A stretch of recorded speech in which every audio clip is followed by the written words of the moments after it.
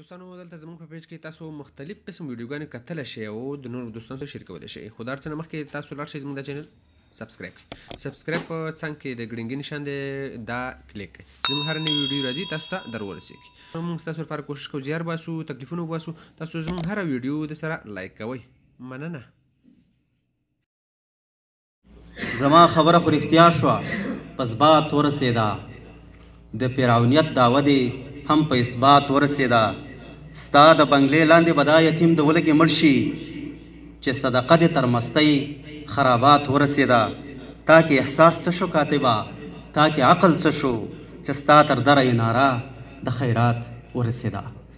اوس رمضان صایم را غواړم چې راشي او تاسو ته خپل شعر وایي صایم صاحب د دې نه وروسته بیا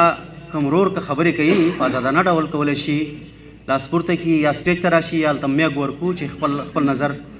درنو مشرانو سره شریک کړي بسم الله الرحمن الرحیم د هر څه د مخه د ملت د کور څخه راغلو ملمنو او د دې غونډې ټولو ګډونوالو السلام علیکم ورحمت الله وبرکاته یو مات ګډ شعر دی خدای دې کې ستاسو د توجه وړ وګرځي وایي خره ته بد شو خپلو ښو څخه مو اور اخستی ښه راته بد شو خپلو ښو څخه مو اور اخستی چې زارېدو ترې د هغو څخه مو اور اخستی ښه راته بد شو خپلو ښو څخه مو اور اخستی چې زارېدو ترې د هغو څخه مو اور اخستی موږ ته په کار وه چې د علم هنر لار خپله کړو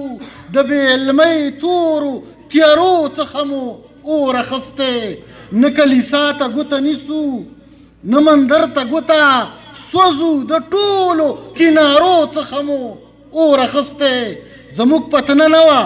د بل پتنه مو سر ته راغله د احساساتو او جذبو څخه مو اور اخسته میلمانه راشي پناه ورکړو بیا د کور بیتی شي د ځینو ځینو میلمنو څخه مو اور اخسته میلمانه راشي پناه ورکړو بیا د کور بیتی شي د ځینو ځینو میلمنو څخه مو اور اخیستی او بیا وایي چې تاسو دا چکچکو کې مانه دغه ورانګ که نه ها وایي چې میلمانه راشي پناه ورکړو بیا د کور بیا تشي د ځینو ځینو میلمنو څخه مو اور اخیستی رښتیا د وچو د کبله به لامده سوځېده رښتیا د وچو د کبله به لامده سوځېده عجب حالات شو د لمدو څخه مو اور اخیستی او پترول راوشیندئ خو پام اوبه راونه شیندئ پترول راوشیندئ خو پام اوبه راونه شیندئ دې د کونړ د سیند اوبو څخه مو اور اخیستی او موږ ته راپېښ شو د چینار په څېر د خپله ډډه موږ ته راپېښ شو د چینار په څېر د خپله ډډه د شرم وایو د پردو څخه مو اور اخیستی او په یو ټغر به کله کینی سره ګرد پښتانه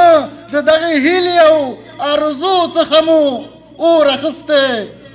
او هوا د مور مو یې خو ستا دعا مو وانه خسته هېواده مور مو یی خو ستا دعا مو وانخیسته ستا د آزار ستا د خیرو څخه مو اور اخیستی سایم پرون په جړغوني انداز داسې ویل ړون شوم د سترګو د بڼو څخه مو اور اخیستی د توجه څخه مو نړۍ مو ها یو شعر دی عنوان یې دی سیمټي سیمټي وایي کورونه سیمټي شو ټول خارونه سیمټي کورونه سیمټي شو ټول خارونه سیمټي د بازي بازي خلکو دي دا زړونه سیمټي او د مال دولت نشکه د چا سترګې سیمټي شوې او د چا د دوسې نشول څټونه سیمټي یو ځای نوم یې نه اخلم خو هر چا ته معلوم دی رواج دی پکې زخ زیات رشوتونه سیمټي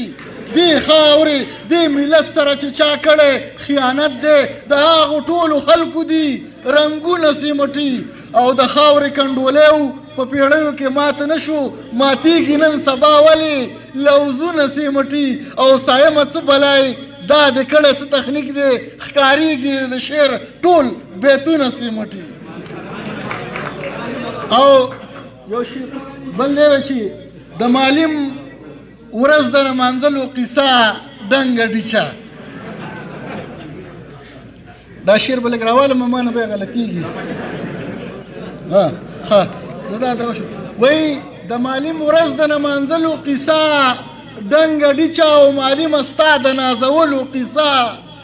دنګه ډیچه ستا نیمګړتیاو ته هر څوک په زربین کې ګوري خو ستا د خو د یادولو قصه دنګه ډیچه او زیار او زحمت ته دې څوک دومره درناوی نه لري اورېدل شته خو د منلو قصه دنګه ډیچه او د مور او پلار مسؤلیت څه دی څوک یې نه یادوي خو د معلم توهینولو قصه ډنګه ډیچه او ماش دې د ماش په څېره هم نه دی بې کوره اوس او تا ته نمرو د سپارېدلو قصه ډنګه ډیچه او چارواکي راشي تا ته غوړې غوړې لاپې وکړي او بیا یې د تللو او راتللو قصه ډنګه ډیچه او سایمه شعر کې د وزن نشته کیف نه لري صایمه شعر کې د وزن نشته کیف نه لري ستا د لیکلو او ویلو قصه ډنګه ډیچه او دغه ډالۍ مې وه په وس کې نور څه نه لرم دغه ډالۍ مې وه په وس کې نور څه نه لرم د دې محفل د خندولو قصه ډنګه ډیچه توجه